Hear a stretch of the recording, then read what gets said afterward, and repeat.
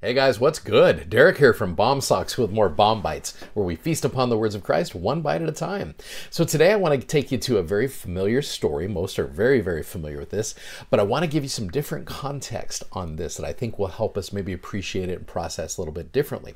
So the context with this is there's an LDS blogger, her name's Tiffany Webster, and she wrote a blog all about this. So I want to give her credit for this because I think it's awesome. And there's actually a video that was done about this. I think it's super cool. So I'm just giving you my take take on it.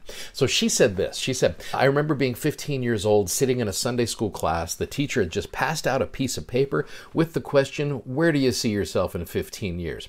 Easy. This was my list. Now, if you're watching this, this list is pretty exhaustive. Successfully graduated from college, married to the man of my dreams, mother of four to five kids, each two years apart, living in my beautiful custom home, running a successful business from my home just when the kids are asleep, of course. I'll read my scriptures every morning right after my 5 a.m. workout training for a triathlon and a marathon before the kids get up. Uh, we'll have family scripture study and prayer every day. I'll make healthy meals every night, take extras to my neighbors and those in need. And I'll finally have stopped eating sugar and carbs altogether and we'll have conquered skinny. Uh, as I sat back in my chair, completely satisfied with the long list I just made, I took a deep breath, dreaming of what it would be like to be living a life where I felt enough, had enough, and did enough. A life that seemed at that moment full of contentment and happiness. Little did I know that day in Sunday school, I bought into one of Satan's greatest lies, the perfect lie, which is what this blog post is actually called. There was nothing I wanted more than to feel enough and to be enough. I wanted to be like my Savior. I wanted to live a successful life and be a good Christian, student, sister, daughter, friend.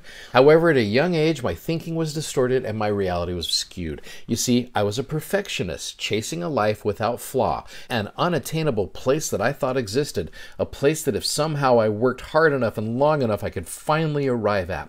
But no matter how hard I tried, how much I did, how much I lived by my good Christian checklist of praying, reading my scriptures, having faith, I didn't feel happy. I felt stressed. I felt guilty that I never had enough time for anything that I was doing.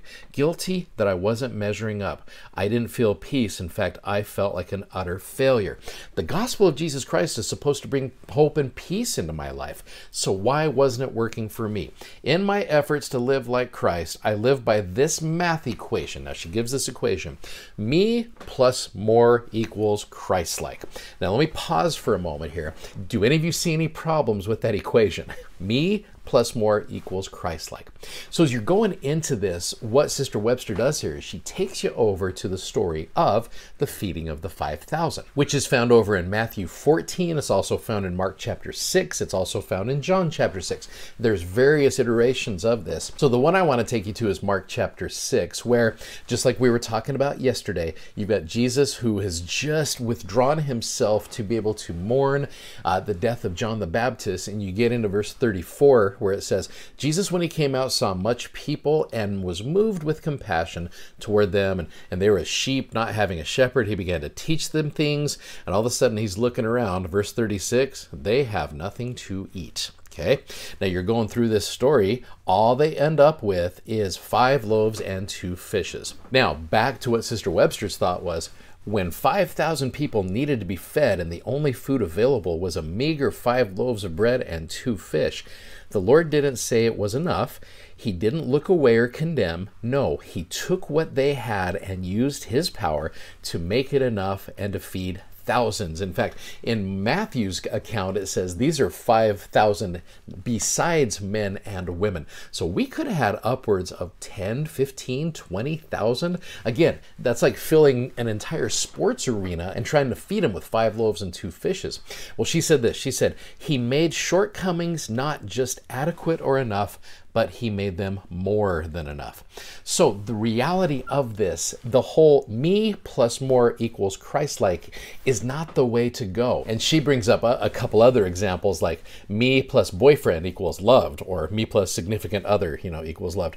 Me plus money equals successful. Me plus more A's equals smarter. Me plus skinnier equals happy, right? Okay, Mo uh, all of those lies. So what then is the correct equation? Well, well, it should be me plus Christ equals more. That's what this story is all about, where you see Jesus Christ magnifying our efforts. It's not me plus more equals more, you know, Jesus and Christ like. It's I've got to involve Jesus Christ in my life more. I've got to do everything that I can, involve Christ in that process, and then that's where the more is going to be. It reminded me of this guy here. Many of you know Dallas Jenkins, who is the creator of the TV series The Chosen, which I think has helped us love Jesus just a little bit more and all those apostles as well. I guess as he was starting out this endeavor, he had had a couple failures that just did not work very well. So he's trying to figure out what to do. And again, this man's not a member of our faith, but he's a good Christian. He said that as he was kind of working through this, he received some inspiration where it said, Your job is not to feed the 5,000. Your job is to provide the loaves and fishes. And so I think as we provide that, that's where you see the Savior start performing miracles. It reminds me of a general conference talk that was given back in October of 2016 by Elder J. Devin Cornish. He said the question was brought up, Am I good enough and am I going to make it? His response was this It was, Of course, there's no such thing as being good enough. None of us could ever earn or deserve our salvation. But it is normal to wonder if we're acceptable before the Lord, which is what this blog was all about, which is how I understand these questions. Let me be direct and clear. The answers to the questions, Am I good enough and will I make it, are yes, you are going to be good enough. And yes, you are going to make it as long as you keep repenting and do not rationalize or rebel. The God of heaven is not a heartless referee looking for any excuse to throw us out of the game. None of us will ever be be good enough save through the merits and mercy of Jesus Christ. I witness to you that if you will really try and will not rationalize or rebel, repenting often and pleading for the grace or help of Jesus Christ, you positively are going to be good enough, and that is acceptable before the Lord. You're going to make it to the celestial kingdom being perfect in Christ. Which now, putting all of this together, uh, Sister Webster's blog, after teaching this wonderful idea of me plus Christ equals more. She concluded her blog by saying this. She said, 15 years ago, I made a list of what I thought my life would look like. 15 years later, my life looks nothing like that list. I'm still broken. I still have health challenges. And some days, my life feels like a real mess. But now, instead of chasing perfection, I'm chasing Jesus. And I've never been happier. And so I really think the way she describes this in this story of the feeding of the 5,000 is such a wonderful way to help us understand that the more we involve the Savior in our lives, the more we will be. And I can testify to you that that is true. He takes our five loaves and two fishes and makes miracles. I know that's true.